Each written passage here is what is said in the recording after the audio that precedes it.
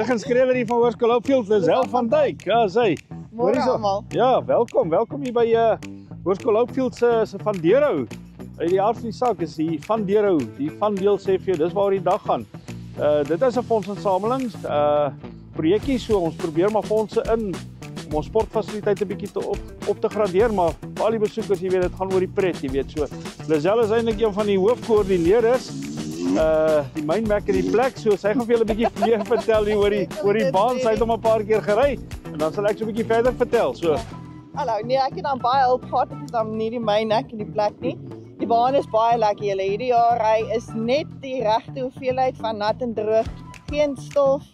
Is altyd lekker. Die baan is ongeveer so 30 km lank. Ehm um, hier het ons pret. Dis waaroor vandag gaan. Hier is 'n side by side, two strokes, four strokes, squats en ons het net vandag pret. Dit is lekker. Die baan vloei lekker. Dis nie dis nie klipperig nie, is sanderig en water en modder. So ek hoop almal het pret vandag. En almal gaan met 'n vuil fiets huis toe, dis verseker. yeah well there is a wash bay for those of you Yeah. that don't want to go with a, a dirty bike but uh what is also special about this year 13 years that this event has been taking place uh, we uh, the proud sponsors SPH Kindalila that's been with us from the start of this project En which is Kingsley? amazing. And then Kingsley as Yeah. well, and Yamaha and Yara South Africa, some of our main sponsors. Uh en dan ook 'n hele klompie ander donateurs, maar maar wat dit ekstra spesiaal maak is ons skoolhoof. Wat nou hy het hier begin skoolhou en hy maak by hierdie skool klaar. Ek omtrent 30 jaar as ek nou sê. Hy maak nou einde van die jaar klaar. So ons ons glo en vertrou dat hierdie vir hom 'n baie spesiale geleentheid Ja. gaan wees. En dis ook die laaste keer weer wees wat hy wat hy aan hoof staan van die ding. Volgende jaar gaan maar gewone plekwerkertjie wees soos die res van ons, jy weet. He'll be coming back. He'll get the invitation and then hopefully uh carry on the tradition that's been going on for, for quite a long time. So uh what is also special about this event is that uh, the farm ankle flare has been used en Olivier en Melanie Slabber wat die wat die uh ja, hulle is hulle is die hosts hier by die by die plaas en uh danksy hulle Ons is bevoorreg. ja, bitter bevoorreg. Ja, ons is Om- om- bevoorreg om om mense elke jaar te in hê, Mandela weet, by ehm, die plaas te. En hulle ja, beskiklik baie, ja. Ja, en dan natuurlik 'n klompie omliggende plase, jy weet, ehm uh ouers wat 54 generasie boere is wat hulle hulle gronde beskikbaar stel sodat die mense 'n lekker dag kan hê. So ons is groot dankbaarheid vir al hierdie al die mense en dan natuurlik uh, betrokke mense soos Lisel, ouers en die smeer van ons kinders wat vandag hier is van ons leerders. Dis is maar nie net 'n gemeenskap ding nie, maar ons reik uit hier's 'n klomp besoekers van weier af.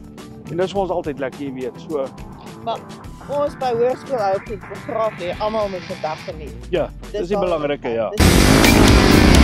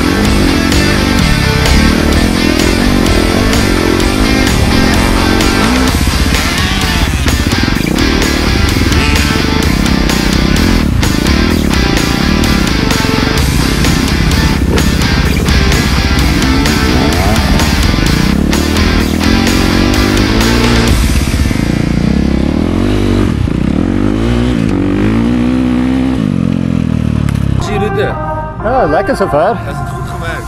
Ja, perfek.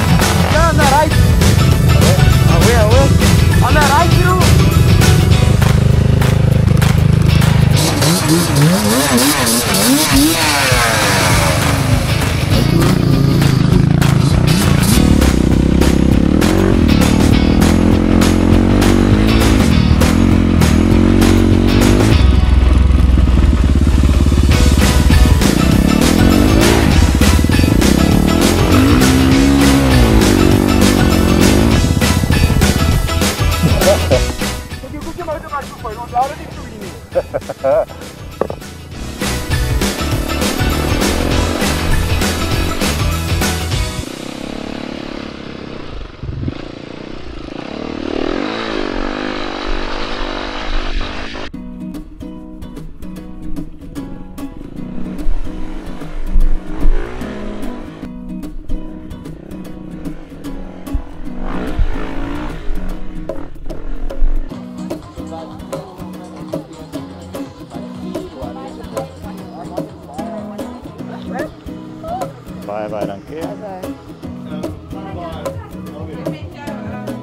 Thanks Anneke. Baie dankie ook.